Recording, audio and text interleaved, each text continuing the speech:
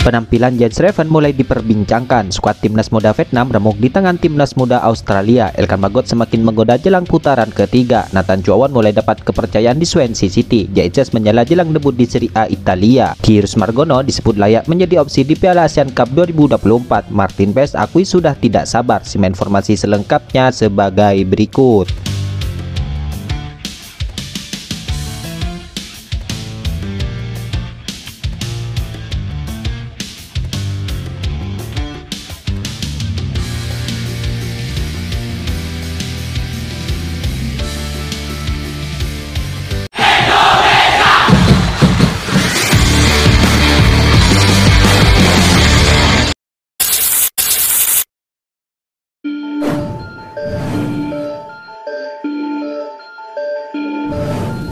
Jens Reven kini kembali menjadi sorotan saat timnas Indonesia U19 menghadapi timnas Kamboja di laga kedua kemarin, di mana sang pemain dianggap kurang memberikan kontribusi di laga tersebut.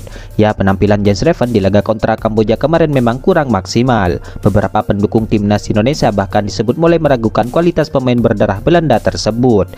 Ya, Jens Reven masuk sebagai pemain pengganti saat timnas Indonesia menghadapi timnas Kamboja U19. Pertandingan itu berlangsung di Stadion Gelora Bung Tomo, Surabaya kemarin. Untungnya penampilan kurang maksimal Jens Reven tersebut tidak terlalu berpengaruh pada hasil pertandingan, di mana Garuda Muda tetap berhasil mengalahkan Kamboja dengan skor akhir 2-0.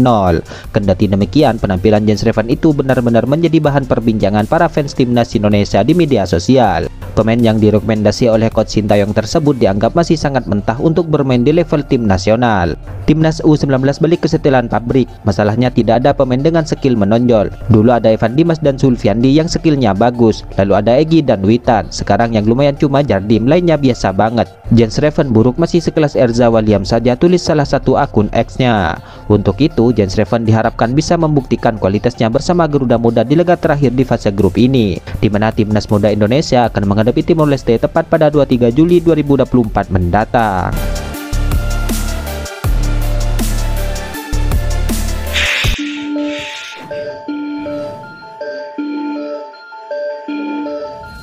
Timnas Indonesia dijadwalkan pada jadwal yang padat di sepanjang tahun 2024 ini. Bahkan di bulan November nanti ada dua ajang yang akan dihadapi oleh skuad Garuda. Ya, Timnas Indonesia akan melanjutkan perjuangannya di putaran ketiga kualifikasi Piala Dunia 2026.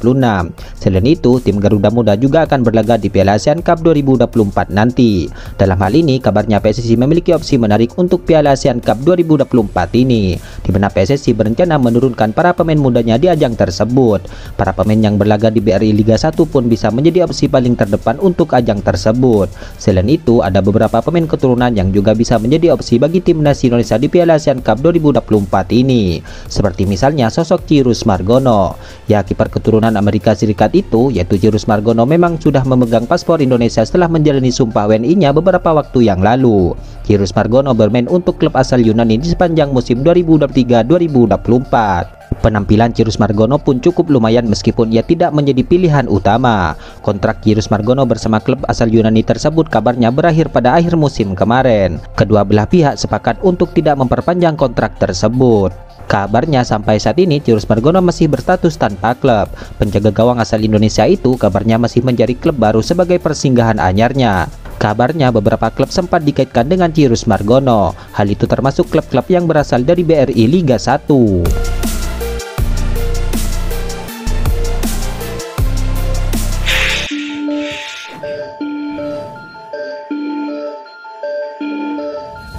Back timnas Indonesia itu Jaises dalam beberapa waktu ke depan akan segera menjalani debutnya di kompetisi Liga Italia Serie A. Sebelumnya Jaises sukses promosi ke kasta tertinggi sepak bola Italia bersama klubnya Venezia.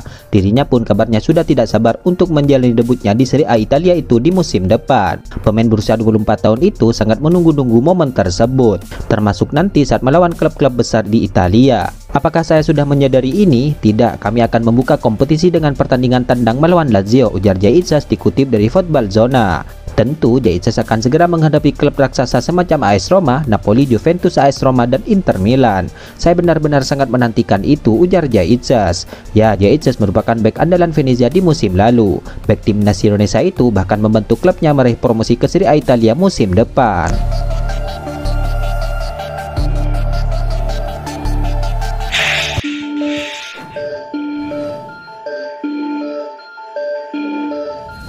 Pemain timnas Indonesia yaitu Elkan Bagot kini kabarnya diturunkan sebagai pemain pengganti saat klubnya mengalahkan Shakhtar Donetsk. Laga uji coba klub Premier League itu dengan klub asal Ukraina tersebut berlangsung pada Sabtu kemarin. Dilansir Speci Eleven, pertandingan ini digelar sebagai persiapan pramusim Ipswich Town. Pasukan Kiran MC Kenan itu menjalani latihan selama seminggu sebelum bentrok dengan Shakhtar Donetsk. Kiran MC Kenan dalam laga itu melakukan beberapa perubahan di babak kedua dengan pergantian pemain.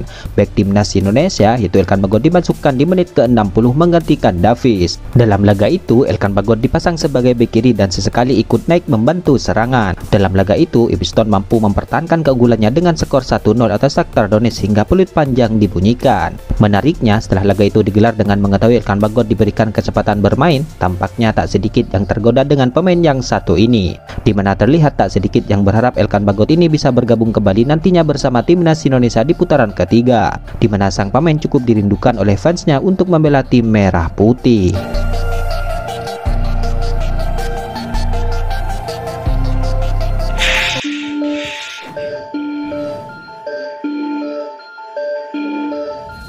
Martin Paes mengaku sudah tiga tahun dihubungi oleh PSSI untuk bergabung dengan timnas Indonesia. Namun kabarnya baru tahun 2024 ini ia bersedia membela skuad Garuda untuk memenuhi keinginan almarhum neneknya yang dari Indonesia.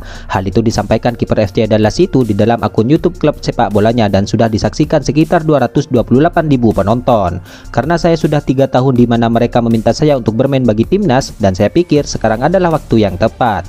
Saya hanya ingin mengembalikan apa yang mereka berikan kepada saya di atas lapangan ujar Martin Paes dikutip dari kanal YouTube FC Dallas pada Senin 22 Juli 2024 ini. Ya, Martin Paes yang saat ini masih bermain untuk FC Dallas itu juga mengaku sudah tidak sabar untuk merasakan atmosfer dukungan supporter dan masyarakat Indonesia ketika berada di stadion dan bertanding sebagai tuan rumah. Seperti diketahui dalam setiap pertandingan timnas Indonesia, stadion selalu dipenuhi para pendukungnya, di mana supporter skuad Garuda juga masuk ke dalam salah satu yang paling fanatik dan kreatif.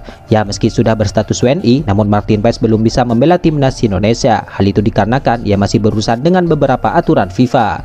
Di sisi lain, pada 5 September 2024 ini, timnas Indonesia akan bertanding melawan Arab Saudi di putaran ketiga. Jadi ketika saya berada di sana kemarin, yaitu adalah perasaan teristimewa, dan kemudian jadi itulah sedikit sisi personal dan kemudian jika Anda melihat ke sisi sepak bola, ya ada peluang tak terbatas di sana, terang Martin Paes.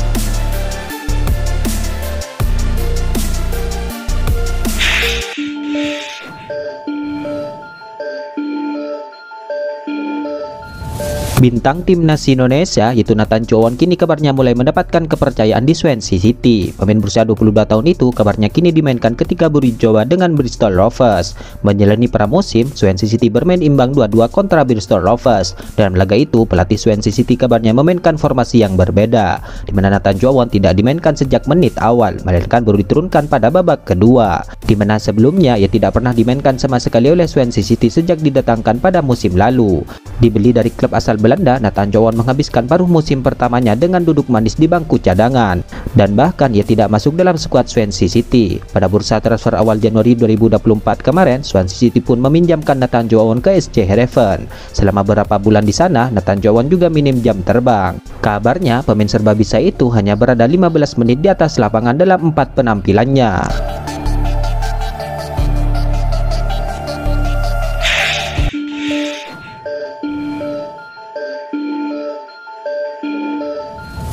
Australia versus Vietnam diketahui telah berjumpa di lanjutan Piala ASEAN U19 2024 ini. Hasilnya Australia pesta gol ke gawang timnas Vietnam dengan skor akhir 6-2. Ya, timnas Australia versus Vietnam berjumpa di matchday kedua grup B Piala ASEAN U19 2024 ini. Pertandingan tersebut digelar di Stadion Gelora 10 November di Surabaya. Dalam laga itu, timnas Vietnam memang tampil menekan sejak awal pertandingan.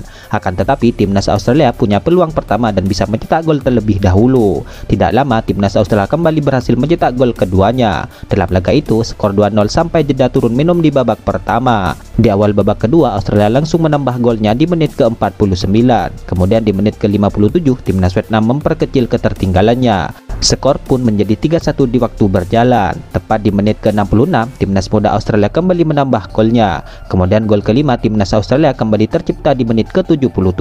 Tidak lama laga berjalan, striker timnas Vietnam pun berhasil untuk menambah golnya. Skor pun menjadi 5-2 untuk keunggulan timnas muda Australia. Namun detik-detik akhir, sepakan melengkung pemain Australia kembali menambah golnya. Skor 6-2 pun untuk kemenangan Australia bertahan sampai akhir pertandingan. Australia sementara puncaki grup B dengan 6 poin dari dua laga tersebut, sementara timnas Vietnam di tempat ketiga dengan satu poin.